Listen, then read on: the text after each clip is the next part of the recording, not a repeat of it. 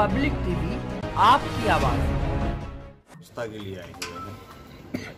पिछले काफ़ी दिन से प्रयासरत हैं। अपना काम छोड़ छोड़ के बच्चों को लेना छोड़ना पड़ रहा है।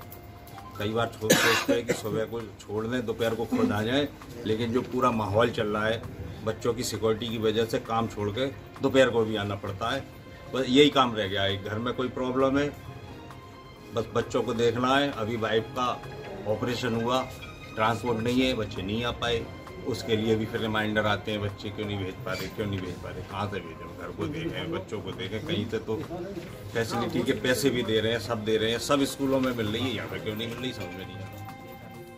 जी सर क्या नाम आपका? जितेंद्र। जी आप कहाँ पर हैं इस टाइम नहीं कहाँ पर हैं इस टाइम दे- दिल्ली पब्लिक अच्छा क्या रीज़न है? क्या वजह है? रीजन सर ट्रांसपोर्ट का है क्योंकि हम लोगों की एक साथ से परेशान करते चले जा रहे हैं कि ट्रांसपोर्ट देंगे ट्रांसपोर्ट देंगे लेकिन डेट पर डेट डेट पर डेट देते चले जा रहे हैं और हम लोगों को इतना बड़ा रिस्क है कि बच्चों को यानी कि कोई भी ज़िम्मेदारी नहीं है कोई भी बच्चे के साथ कोई भी घटना घट सकती है लेकिन क्या अब प्रिंसिपल सर से कहते हैं तो मैनेजमेंट के ऊपर टाल देते हैं मैनेजमेंट से बात करते हैं तो इन्होंने प्रिंसिपल ने यह बोल दिया कि मैनेजमेंट ने हमसे ये कह दिया कि आप विदाउट ये ट्रांसपोर्ट स्कूल खोल दो। स्कूल खोल दो। लेकिन हम इस बात के लिए एग्री नहीं है क्योंकि हम लोगों का काम यही नहीं है। एक शहर का माना हुआ स्कूल होते हुए डीपीएस लेकिन हम लोगों के लिए ये इतनी बड़ी यानी कि फ़ीस भरपूर ले रहे हैं इसको फैसिलिटी बिल्कुल नहीं दे रहे हैं लेकिन हमें डेट पर डेट डेट पर डेट देते चले जा रहे हैं। अच्छा ट्रांसपोर्टेशन की जो प्रॉब्लम है सारे स्टूडेंट्स के साथ हैं? सारे स्टूडेंट्स के सभी के साथ? साथ सभी के साथ सभी के साथ। तो अब आप लोग क्या चाहते हैं? हम सर ये चाहते हैं कि जब तक के लिए हमें ट्रांसपोर्टेशन नहीं देंगे जब तक के लिए हम स्कूल बंद कर दें स्कूल बंद कर दें। अच्छा। स्कूल तब तक के लिए बंद कर दें। जब ट्रांसपोर्ट हमें देंगे तभी हम बच्चों को स्कूल स्कूल मैनेजमेंट से आपकी बात हुई? मैनेजमेंट को बुलाना नहीं चाह रहे आना नहीं चाह रहा मैनेजमेंट हमारे सामने। अच्छा अभी आपकी किन से बात हुई थी? प्रिंसिपल सर से बात हुई। अच्छा क्या कहा प्रिंसिपल सर? प्रिंसिपल ने ये कह दिया कि मैं मैनेजमेंट को फ़ोन कर रहा हूँ मैनेजमेंट नहीं आ रही। है कोई जवाब नहीं दे रहा कोई भी। सर क्या नाम आपका? मेरा नाम दीपक गुप्ता है। जी। कहाँ पर हैं आप ये सब? मैं इस समय Delhi public school Delhi road Moradabad में अच्छा क्या हुआ है? पूरा प्रकरण सर यहाँ पर सारे पेरेंट्स लोग इकट्ठा हुए हैं इसीलिए क्योंकि हम लोगों को ट्रांसपोर्टेशन नहीं मिल पा रही है। जी। और रोज हम लोगों को ये बताया जा रहा है कि आज कल परसों में आपको ट्रांसपोर्टेशन मिल जाएगी। प्रिंसिपल साहब से अभी बात हुई तो वो ये कह रहे थे मैनेजमेंट ने कहा कि बिना ट्रांसपोर्टेशन के स्कूल खोल दीजिए। और सारे पेरेंट्स को कोई जो है पास से आ रहा है कोई दूर से आ रहा है किसी को अपना टाइम निकाल के आना पड़ रहा है और बहुत ज़्यादा दिक्कत का हमें सामना करना पड़ रहा है सब लोगों को। कितने कितने समय से ये सर जब से स्कूल खुला है तब से और पहले भी जो है पीछे मेरा पूरा एक साल पीछे पीछे भी इन्होंने जो है एग्ज़ाम्स वगैरह हुए तो हम लोगों ने इस तरीके से मैनेज किया।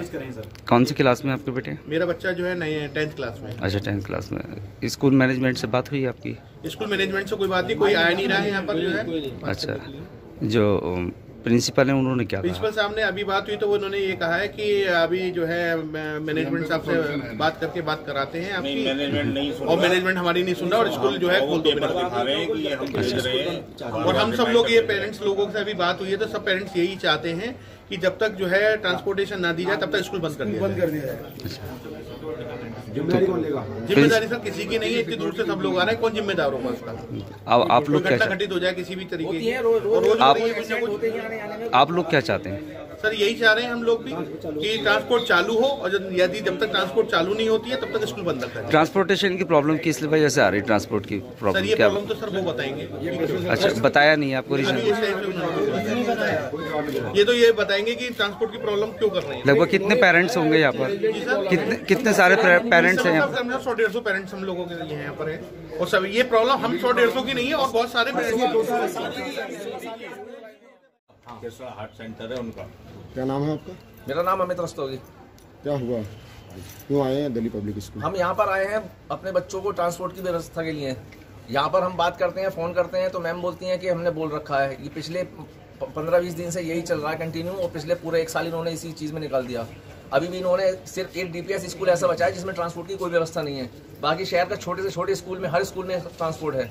सिर्फ़ इनके पास आज ट्रांसपोर्ट के नाम पर जवाब भी नहीं है देने के लिए, गाड़ी तो बाद में देंगे ट्रांसपोर्ट बाद में देंगे, इनके पास जवाब तक नहीं है देने के लिए। आज हमारी मुलाकात प्रिंसिपल साहब से डायरेक्ट हुई है, और हम सब लोग सुबह आठ बजे से यहाँ पर इकट्ठा हुए हुए हैं। सब अपना परिवार, काम धंधा छोड़ करके यहाँ खड़े हुए हैं। लेकिन अभी भी इनके पास कोई संतुष्ट जनक जवाब हमारे पास देने के लिए नहीं है इनके पास। डेट पर डेट डेट पर डेट पर डेट डाल रहे हैं। कोई इनके पास वेरिफिकेशन नहीं है। कहते हैं कि मैनेजमेंट हमारी नहीं सुन रहा है। जब मैनेजमेंट ही नहीं सुन रहा है तो फिर हमारे बच्चों का फ्यूचर क्या होगा? ये किस बेस पर हमारे बच्चों को यहाँ पर पढ़ा रहे हैं ये? जब इनके पास ही जवाब नहीं है तो हम हमें आगे क्या इनसे संतुष्टि हम चाहते हैं कि हमारे स्कूल के बच्चों को यानी कि जब तक के लिए और ज़्यादा हम इनको बोलते हैं तो कहते हैं अपने बच्चे की टीसी कटा करके घर पर बैठा लीजिएगा आप। अपना खुद देख लीजिए। नहीं ये बच्चे की कोई गारंटी बच्चे का बच्चे का एडमिशन कहाँ होगा? और बल्कि अभी दो दिन पहले मैं बच्चे को लेकर के आ रहा था तो रास्ते में एक्सीडेंट भी होने से बचा। पब्लिक टीवी आपकी आवाज़।